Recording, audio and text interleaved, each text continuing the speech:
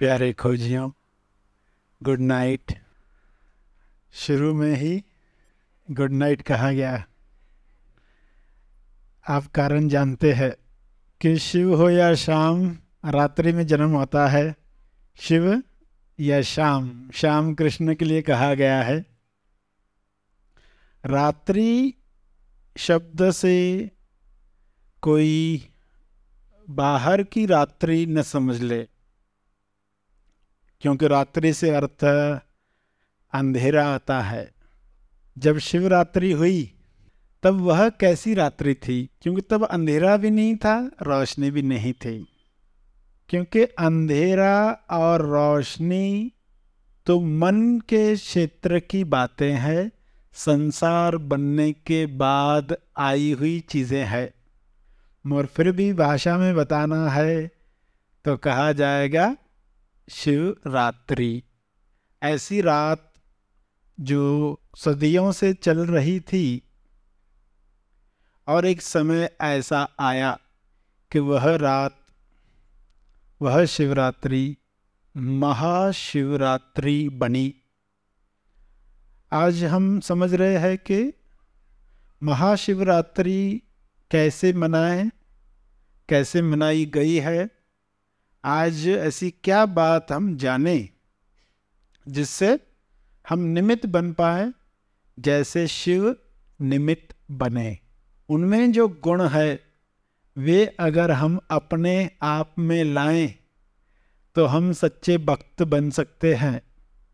हर त्यौहार, हर जन्मदिन कारण है आपसे मनन करवाने के लिए और इतना ज़ोरदार मनन हो जाए कि वह आपके क्रिया में आने लग जाए। तो एक एक कदम हम आगे बढ़ेंगे, समझेंगे इस रहस्य को, शिव शक्ति रहस्य को। यदि स्टेज पर कोई डांस होने जा रही है, नृत्य होने जा रहा है, और जो नृत्यकार है, डांसर है वो इतने तीव्र गति से नृत्य करता है कि देखने वालों को उसका चेहरा ही नहीं दिखाई देगा। मूमेंट्स अगर बहुत फास्ट हो तो लोग उसका चेहरा देख ही नहीं पाएँगे। मगर नृत्य शुरू होने से पहले जब वह स्टेज पर आया तो सभी उसका चेहरा देखेंगे। और फिर नृत्य चलते वक्त भी लोगों को उनका चेहरा ध्यान में होगा, वे पकड़ पाएँगे कि ये वही डांसर है जो स्टेज पर पहले आया था।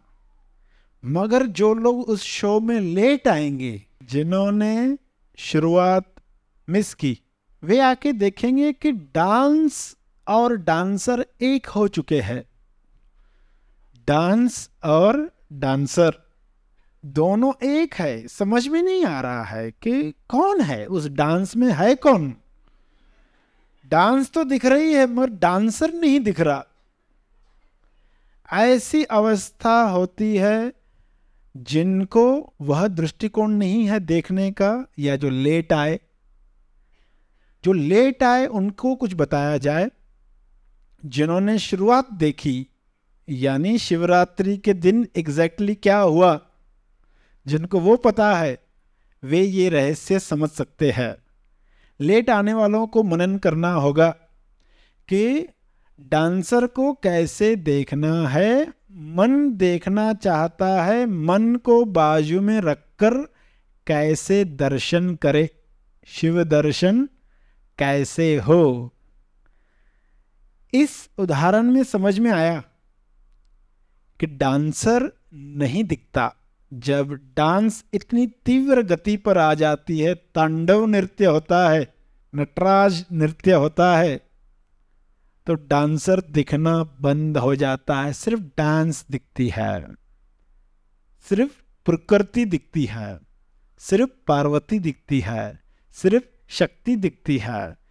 असली चीज़ जो उसमें है, वह गायब हो जाती है, वो दिखना बंद हो जाती है। और जब तक कोई इशारा न करे कि जो डांस है, इसके अंदर एक डांसर है। ये इतनी तीव्र गति से हो रहा है, दोनों एक हो चुके हैं। अर्ध नारीश्वर चित्र आप देखते हो। शिव है, शक्ति है। ओम है, उमा है।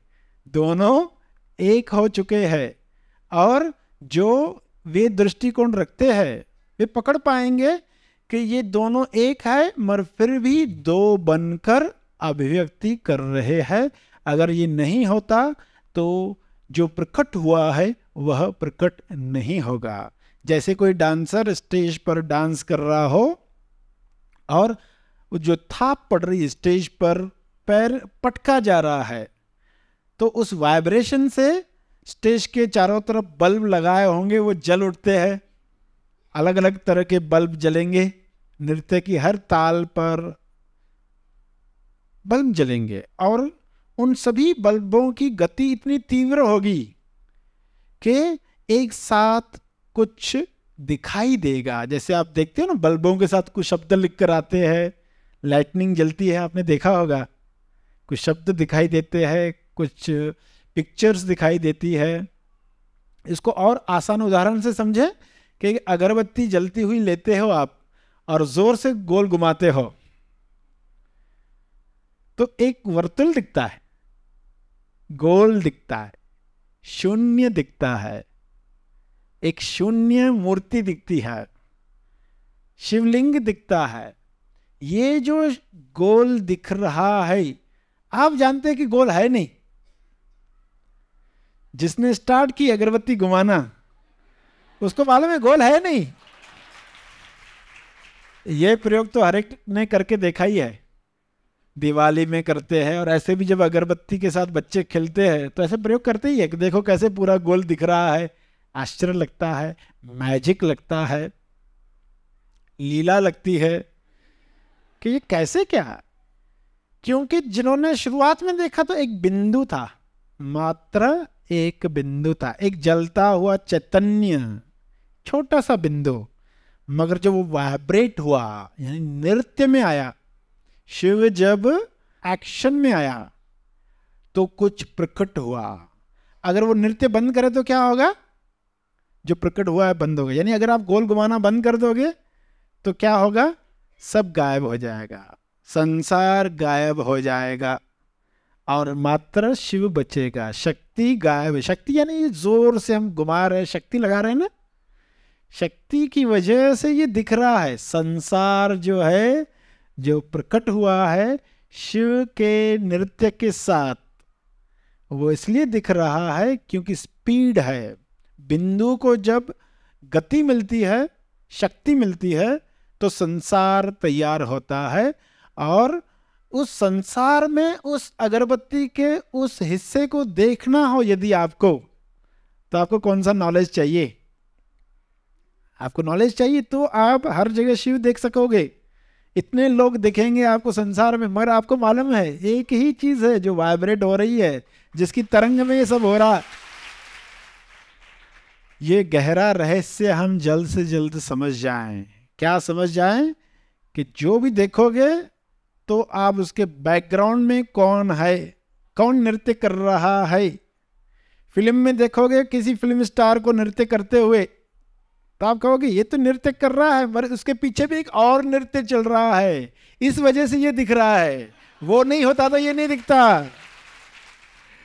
हर नृत्य के पीछे एक और बड़ा नृत्य चल रहा है। अगर शिव का नृत्य नहीं चल रहा होता तो ये नृत्य नहीं दिखता। जो भी नृत्य आप देखते हो, और उसके पीछे एक और नृत्य है, जो शिव के भक्त है, चैतन्य के भक्त है, असली चीज़ के भक्त है, सेल्फ के, वे उसका ही नृत्य देखते हैं। सामने वाला कुछ भी कह रहा है, मगर उनको वही दिखाई दे रहा है, क्या नृत्य चल रहा है, क्या बढ़िया अभिव्यक्ति चल रही है। उनको जो आनंद आ रहा है, वह डांस देखने का वह लीला देखने का।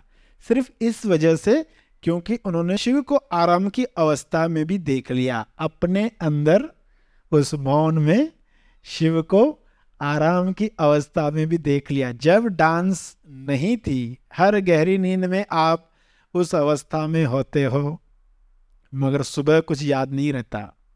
ना ही किसी ने समझ दी है कि हम कुछ मनन कर पाए।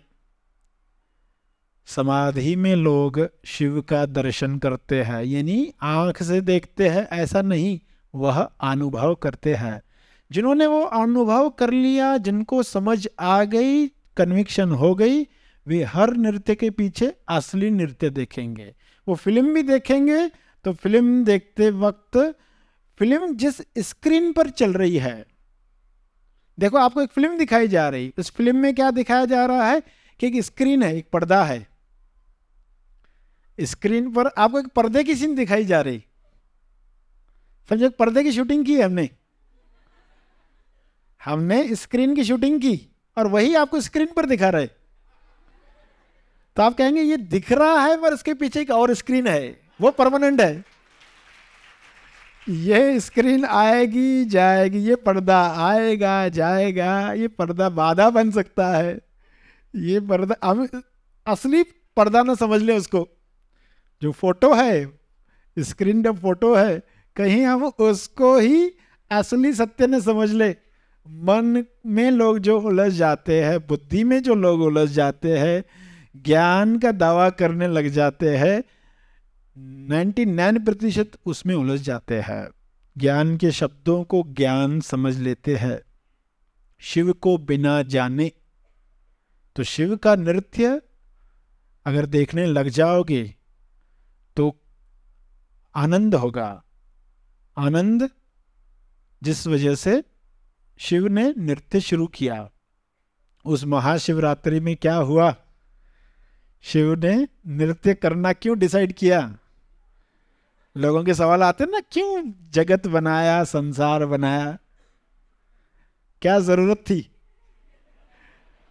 इंसान बुद्धि से ज़रूरत की भाषा ही समझता है। जो ज़रूरत है वही करो, जो नहीं है ज़रूरत मत करो। पर समझा ही नहीं कि आनंद से कुछ चीज़ें आती है। आनंद जिनका कारण होता है, और किसी कारण से नहीं किया जा रहा। अभिव्यक्ति की जा रही है, कुछ जाना है, कुछ रहस्य खुले है, इस वजह से आनंद चल रहा है। शिव ने नृत्य करना शुरू किया। और वह नृत्य आज सबको दिख रहा है। मगर ये पता नहीं था तो आप शिव का नृत्य करके नहीं देखोगे। बाहर जाओगे, बिल्डिंगें देखोगे, रोड देखोगे, गाड़ियाँ देखोगे तो ये नहीं कहोगे कि ये शिव का नृत्य है। मगर अगर वह आँख है तो वो नृत्य दिखेगा। क्या बढ़िया नृत्य चल रहा है, क्या लीला है, आनंद लोगे, खुशी होगी अंदर से। आपका शरीर भी नृत्य करना चाहेगा। ये क्यों होगा? जब रहस्य खुल जाएगा। और हम उपासना कर पाए, शिव उपासना कर पाए, यानी उनके गुणों पर मनन कर पाए। गुणों पर मनन करेंगे तो वे गुण हमारे अंदर आएँगे, हम सही माने में सच्चे भक्त बनेंगे। तो स्टार्ट ही की हमने उस नृत्य को समझने के लिए एक गूढ़ रहस्य, एक गूढ़ बात के शिवरात्रि क्यों आती है? महाशिवरात्रि क्यों आती है? महाशिव दिन क्यों नहीं कहा? महाशिवरात्रि क्यों कहा? रात्रि के साथ हम जल्दी समझ सकते हैं उस अनुभव की अवस्था को जहाँ कुछ नहीं है। जहाँ कुछ नहीं है, वह अवस्था समझने के लिए है। दिन कहते तो सूरज चाहिए। अब जब शिव अकेला था तो सूरज कहाँ से आएगा? हमारी भाषा में दिन है यानी सूरज है। सूरज नहीं था, संसार नहीं था तो सूरज नहीं था। तो उस महाशिवरात्रि में संसार क्रिएट हुआ, नृत्य हुआ, पार्वती आई, शक्ति आई, नृत्य शुरू हुआ और संसार बना। और जो लोग नहीं समझ पाएँगे ये बातें कहेंगे खा मखा नृत्य किया। क्यों संसार बना? नहीं बनता तो अच्छा होता। जो दुखी है, जहाँ ज्ञान नहीं है, जहाँ ज्ञान है, वो कहेंगे, अरे, बहुत अच्छा हुआ, ये बहुत अच्छा हुआ। शिव ने नृत्य किया, ये बहुत अच्छा हुआ। मगर जिनको समझ नहीं, वो कहेंगे अच्छा होता, नृत्य नहीं करता, संसार नहीं बनता। मगर उनसे पूछा जाए कि आप कहते हो कि अच्छा होता, संसार नहीं बनता, और संसार नहीं बनता तो आपको कैसे पता चलता कि अच्छा हुआ कि नहीं हुआ? संसार बना तो आप सोच तो पाते हो अच्छा हुआ कि बुरा हुआ? संसार नहीं बना होता तो क्या आप सोच पाते कि अच्छा हुआ? ये अच्छा हुआ कहने वाला कौन होता उस वक्त? वाकई अच्छा हुआ होता क्या? वाकई अच्छा हुआ होता क्या? अगर संसार नहीं बना होता बुद्धि से बड़े की बातें है ना? बुद्धि पकड़ नहीं पाती। सवाल तो करती है झट से। बट जब उसके सवाल पर सवाल किया जाता है तो वो कहती है, अरे हाँ इस तरह तो हमने सोचा ही नहीं। तो शिव की आराधना, वंदना जो करना चाहते हैं, वे शिव के गुणों को समझे, शिव की वह अवस्था समझे, अपने अंदर ही समझे कि जब संसार नहीं था, तब वह कैसा था। तेज मौन की अवस्था में था। तीसरी आँख खोली नहीं थी। तेज आँख खोली नहीं थी। वह आँख खुलने के साथ बहुत कुछ होना शुरू हो गया।